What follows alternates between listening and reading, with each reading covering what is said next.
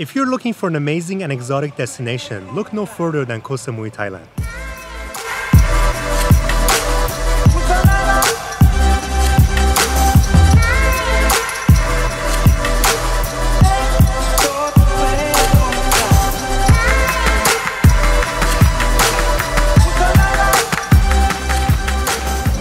Everyone, my name is Houman and in this video we're to talk about the top 5 things that you must do when you're out here in Koh Samui, Thailand. For number 5 on the list, we have temples. Now you cannot go to Thailand without going to some of the most amazing temples. And in Koh Samui, there's some great ones. Today we're going to visit 3 of the popular ones here. So the most known landmark in all of Koh Samui is definitely the Big Buddha. So just off the corner of Koh Samui on its own little island is a 12 meter tall statue of Buddha made out of gold. So one tip when you're coming here, you do have to take your shoe off as you're going up to the Big Buddha. So I would definitely recommend bringing like a sock because these, uh, the floor really gets hot. And whenever you're visiting a Thai temple, just make sure that you're following the dress code, which is no tank top, no shorts, no revealing clothing. And as you can see, I'm wearing pants here. And it's actually my first time in maybe two months that I'm wearing pants. so here you could help the temple by donating 50 baht and uh, running your name on this brick and donating it to the temple to continue the maintenance of it. And the next temple that you must visit when you're in Koh Samui is Wat Plai Laem, which is about a five minute drive from Big Buddha. And this very colorful temple is actually fairly new. It was built in 2004 and the architecture is a mixture of a Thai and Chinese style. It's so peaceful and beautiful out here. There's water surrounding beautiful architecture. It's absolutely incredible. The Wat Plai Laem temple houses two giant, colorful statues that will immediately catch the eye. The first is the huge image of Guanyin, the Chinese goddess of mercy and compassion who has 18 arms. She's said to have so many arms so that she could help as many people at one time. And here we have the 30 meters high, impressive fat Buddha, which represents wealth and prosperity. Alright, so as you can see, Thai temples are something that you definitely must visit when you're in Thailand. And Koh Samui is no exception. Now, so far we've been to two temples today. We're gonna go to one more temple that is very unique. So let's head out there. And the third and final temple of the day is Wat Kunaram, which is also known as the Mummified Monk Temple. Luang Pho Daeng was a Buddhist monk and in 1973 he died while in a seated meditative position. Ever since, his body has been preserved and it's been on display in a glass case. Most Buddhist Thais are not frightened of dying, and they believe it to be one step closer to enlightenment. Therefore, seeing the dead bodies gives them something to reflect on. And the next thing that you should do when you're in Koh Samui is to take Muay Thai classes.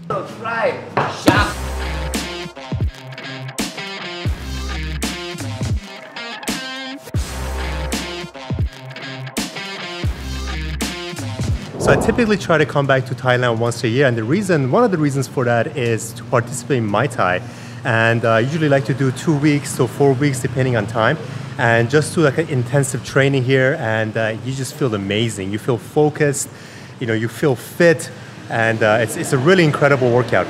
One Muay Thai session on average burns between 700 to 1000 calories. And here, in my opinion, is one of the best Muay Thai gyms to go to. So if you're in Koh Samui, I highly recommend Deeday Muay Thai Gym and uh, it's uh, the, the trainers are amazing they're very nice and very helpful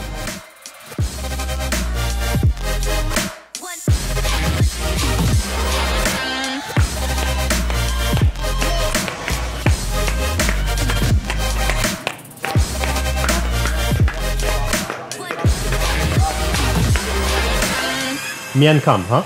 Okay. Mian Kam, huh? okay, so you put that. Mm. It's really good. It like gives you a kick, wakes you up. Great thing to have after training.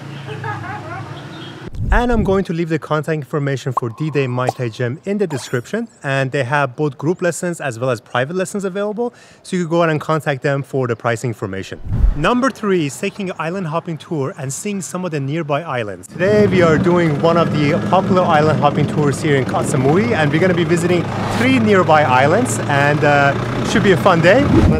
Island, Island, Island, to our first destination, which is called Rap or Rap Island.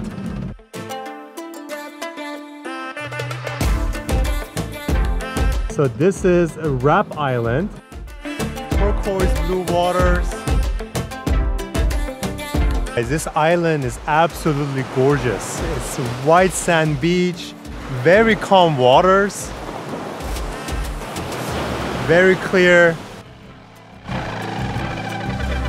So now we are at the second island of the day and it's called Koh Madsum or Pig Island.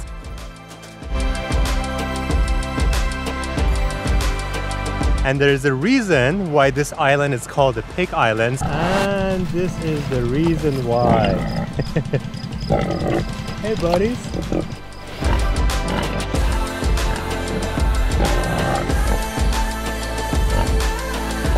All right, so now it's time for the third and final island, which is called Koh Tan, and we're gonna be heading there for some snorkeling. All right, snorkeling is ready. All right, time to head in and see what's down there.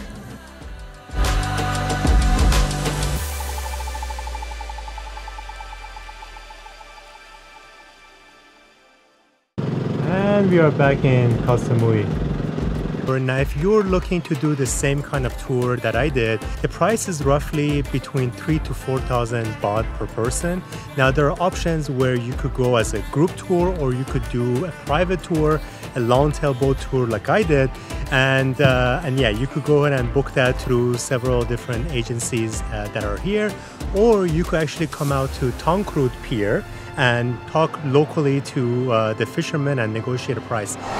At number two, we have checking out some of the most amazing viewpoints here in Koh Samui. So there are some incredible viewpoints out here in Koh Samui and Jungle Club is one of the best ones. So let's go check it out.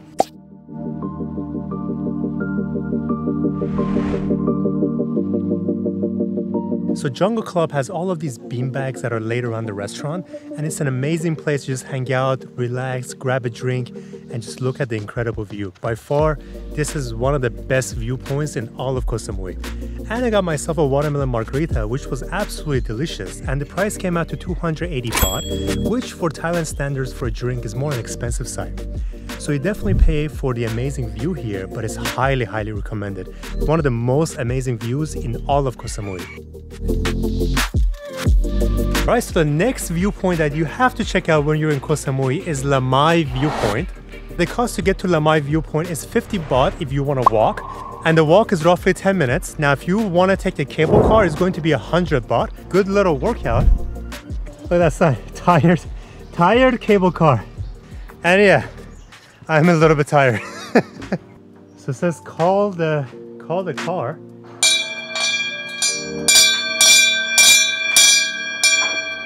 I guess that's what we do. this is interesting. Ah, I see something going up there. Look at that. It's coming down. All right. Capone. So let's go have a seat. We're gonna go up here. Oh yeah, this is definitely much more preferred than doing that 10 minute hike up. Ah. Wow, it's nice. As we're going up, more of the view is opening up to us. I see more of Koh Samui here. And the view from here is absolutely breathtaking. It's just amazing seeing Koh Samui from up here. Incredible. All right, so the next viewpoint that you have to visit is Waterfall Farm, which is a restaurant that's overlooking Hinlard Waterfall. Now this restaurant is on the western side of the island, so it's a little bit out of the way, but still only about 25-30 minutes away if you're in the north of Koh Samui or if you're in Chaweng or Lamai, so it's not too far. Uh, now this is quite strange. I don't know where the restaurant's gonna be here. it's literally like a hike. Oh, I think it's over there though. This makes no sense. I don't know where this restaurant is. Waterfall Farm. The farm. Restaurant? Alright, so apparently when I was saying the waterfall farm, they thought I say the waterfall fall. And they kept saying that it's about a kilometer there. So I think we're still gonna find it. It might be that one. That is over there. yeah, amazing, yeah. Sawadee we have made it to the waterfall farm. Beautiful. And this place is absolutely incredible. You are sitting right next to the water streams and could enjoy food, enjoy drink, and just hang out here. And the price actually is quite reasonable. I'm getting an appetizer, uh, which is called miankham, and that came out to about 180 baht. And the Italian sodas came out to be about 70 baht. So, given the location that you're right next to this beautiful place, it's definitely a very reasonable price. This is Miang Kham, which is a famous kind of appetizer or snack over here in uh, Thailand. And basically, what you do is uh, you take this uh, leaves here and you mix all of these together. And uh, yeah, that's that's the food, and it's really really delicious. And here you go.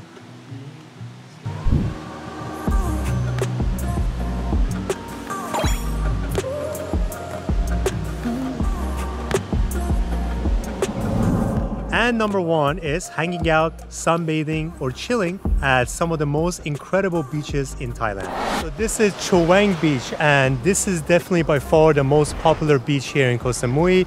And when tourists uh, arrive here, they tend to often stay in Chaweng yeah, and this treasure sand is filled with different kinds of beach clubs and restaurants. And from my understanding, this area has recently opened up to tourists, so it's definitely starting to pick back up. This is Elephant Beach Club. I actually come here quite often. Probably by far one of my favorite places out here in Chaweng.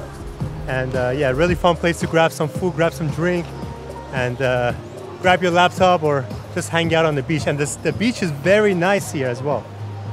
As you can see right over there, they got some uh, beanbag kind of thing on the water. Lamai Beach is another popular beach here in Koh Samui, and it tends to be very popular with couples. Compared to Chaweng Beach, which is more of a party and nightlife kind of area, Lamai Beach is much more quieter. Here you have white powdery sand, beautiful water, and when you come here, you have all the amenities you need. So as you walk along the beach, you're gonna see a lot of different restaurants and cafes, and they all have these uh, benches in the front where you could just relax, have a coconut. It's really nice. And some of the best beaches in Thailand or anywhere in the world can be found here in Koh Samui. And uh, it's uh, really one of my favorite places uh, in the whole world. All right, so that's a wrap for today's videos, and I hope that you liked it. And in the comment section, I would love to know, have you been to Koh Samui already? Is there something that we missed in this video that you recommend? And if you like this type of content, go ahead and subscribe to the channel, and I cannot wait to see you in the next video.